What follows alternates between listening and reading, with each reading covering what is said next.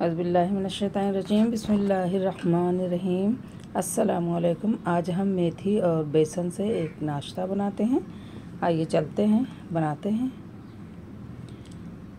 ये आप देख सकते हैं इंग्रेडिएंट्स मैंने मेथी को काट लिया है और धुल के साफ़ कर लिया है। और ये तकरीबन टू कप्स होंगी।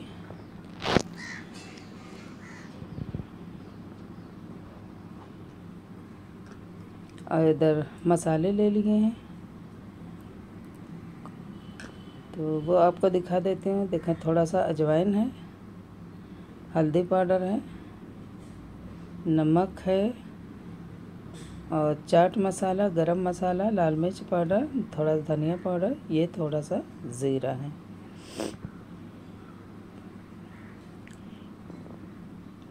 और इधर हमने ले लिया है कोरिएंडर लीव्स। अब आप सोचेंगे कि ये क्यों डाल रहे हैं? क्योंकि ग्रीन ग्रीन मेथी है, लेकिन इसका टेस्ट, इसकी खुशबू अलग होती है, इसलिए शामिल कर रहे हैं हम। जिंजर गार्लिक का पेस्ट है वन टेबल स्पून और ये कुटी हुई मिर्चें हैं, यानी दरदरी पीसी हुई और बेसन है। एक बाउल में हमने ट्रांसफ़र कर लिया मेथी के पत्ते। अब इसे में हम सारे मसाले भी ऐड कर देंगे। कोरिएंडर लीव्स ऐड कर दिया। और स्पाइसी मसाले भी ऐड कर देते हैं।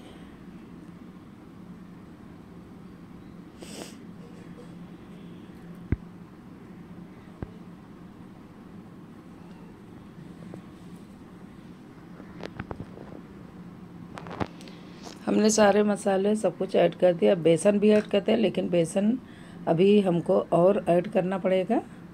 वो बाद में देखते हैं कि टोटली कितना ऐड हो जाता है इसमें। ऐसे तो हमने अंदाज़ा टू कप्स का लगाया, लेकिन थोड़ा थोड़ा बेसन ऐड कर रहे हैं। देखिए, हमारा टोटल टू कप्स बेसन हो गया इसी कप से।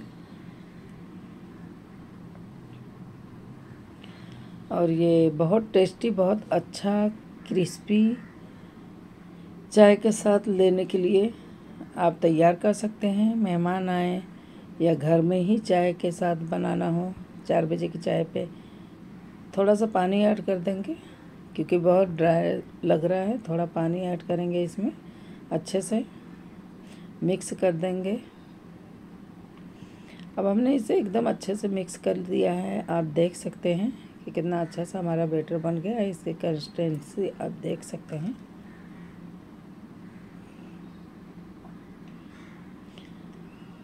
अब इधर दूसरी तरफ़ हमने एक पतीली में पानी रख दिया है उबलने के लिए, क्योंकि हमें उसको स्टीम देना है। अभी पानी देखें, उबलने लगा है। अब इसमें हम लेमन का एक टुकड़ा डाल देंगे, ताकि पतीली एकदम काली ना हो।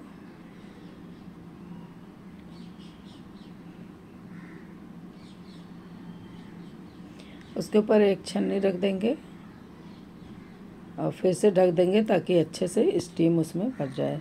अब हाथों में अब अपना ऑयल लगा लेंगे थोड़ा, और उसके बाद इसका हम रोल जैसा छोटा छोटा बना लेंगे।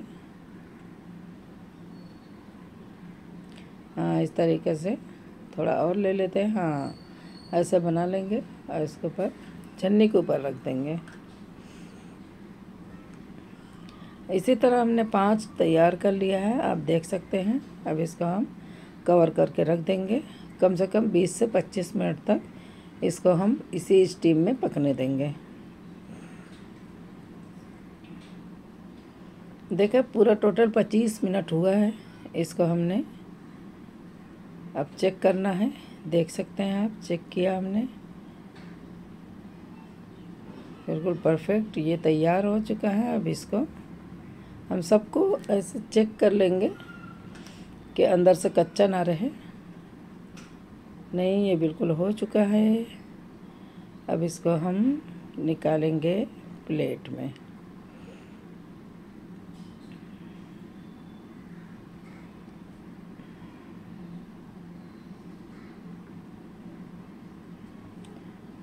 अगर आप पहली बार मेरी वीडियो देख रहे हैं, मेरे चैनल पर पहली बार आए हैं तो चैनल को सब्सक्राइब करना ना भूलें।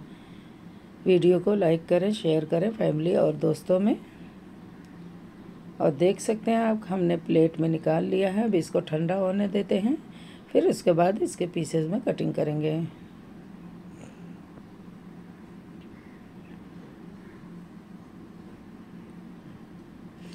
अब चलते हैं, ये ठंडा हो चुका है, इसको हम कटिंग कर देते हैं।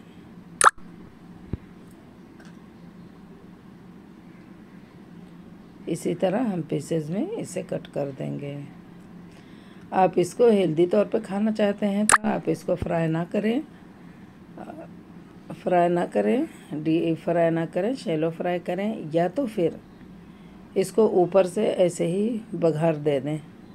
एक थाली में रखें, ऊपर से तड़का डाल दें। ऐसे भी अच्छा लगता है, ऐसे भी खाया जा सकता है।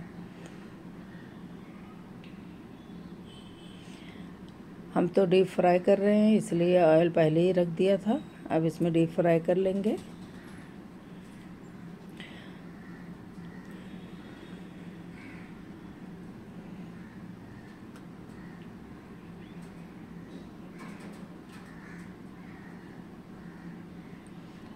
इसको हाई फ्लेम पे ही मैं कर रही हूँ और फटाफट डालकर फ्राई कर लूँगी। बहुत जल्दी से इसका कलर चेंज हो जाएगा तो इसको हम पलट देंगे और फिर निकाल लेंगे। क्योंकि अंदर से तो ये अच्छे से पका ही हुआ है। इसको थोड़ा सा फ्राई कर रही हूँ मैं। आपको अगर इसको तड़का मारना है तो राई, ज़ीरा, कड़ी पत्ता, हींग से आप इसको ऊपर से सिर्फ़ तड़का मार दें, एक थाली में रख के। अब ये सब टिश्यू पेपर पे निकाल ले रहे हैं ताकि एक्स्ट्रा ऑयल जो है वो एब्ज़ॉर्ब कर ले। टिश्यू पेपर हमारा इसी तरह हम सारे तल लेंगे। हमारा अभी एक बार का और बाकी है, वो फ्राई हो रहा है, उसको भी अभी निकाल लेंगे, फिर आपको प्लेटिंग करके दिखाते हैं।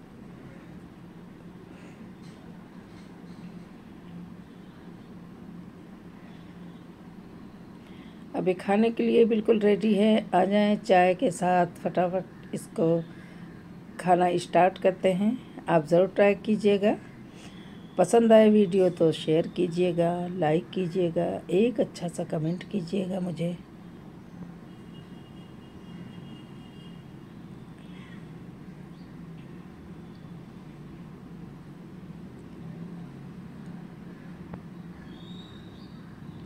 वाकई बहुत टेस्टी बना था। टेस्टी होने के साथ साथ हेल्दी भी है और फुल हेल्दी बनाने के लिए आप इसको डीप फ्राई ना करें। उसको सिर्फ़ तड़का दें और इसी तरह खाएँ, वैसे भी अच्छा लगता है। दुआ में याद रखिएगा। फिर मिलते हैं नई रेसिपी के साथ। अल्लाह